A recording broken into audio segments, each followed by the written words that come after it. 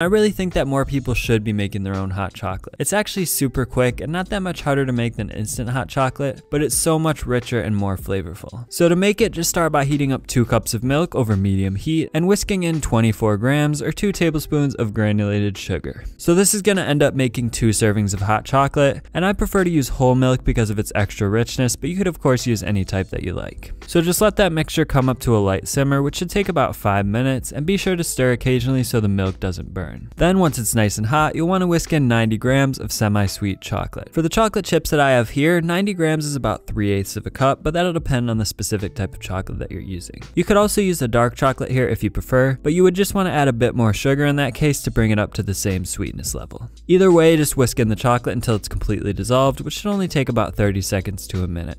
Then finally whisk in 8 grams or about 1.5 tablespoons of unsweetened cocoa powder, which is really going to give it that distinct hot chocolatey flavor. And that's all there is to it. It's that easy to make a homemade hot chocolate completely from scratch, and it's gonna be so much tastier than any instant hot chocolate mix. But for those of you that want to take your hot chocolate to the next level, we're also going to make a Mexican hot chocolate. Now the process is largely the same as the basic hot chocolate, so we'll again start by heating up 2 cups of milk over medium heat, but this time we'll add 42 grams of dark brown sugar to add a bit of extra depth of flavor. Then at this point, we're gonna add our spices, and for this recipe, that'll be cinnamon, cloves, nutmeg, and cayenne pepper. So I'm going to use my mortar and pestle to crush up 6 whole cloves along with 1.5 whole cinnamon sticks just to release a bit more surface area before adding them to the milk.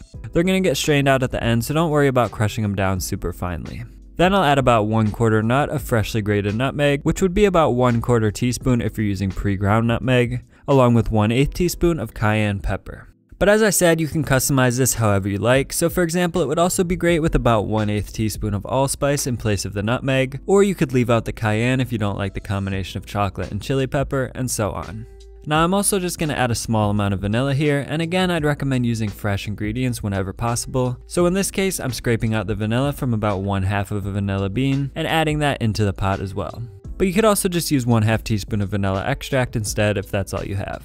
Then just thoroughly whisk those all in, and again let that mixture come up to a simmer. Then it's finally time to add the chocolate, but this time we're using 120 grams of dark chocolate, which is about one half cup. So just whisk that in for a minute or so until it's completely dissolved, and at that point all that's left to do is run it through a fine mesh strainer to remove our excess spices. I like to top it with either some marshmallows or some fresh whipped cream, which I showed you how to make in my pumpkin pie video, so I'll also leave that recipe in the description below.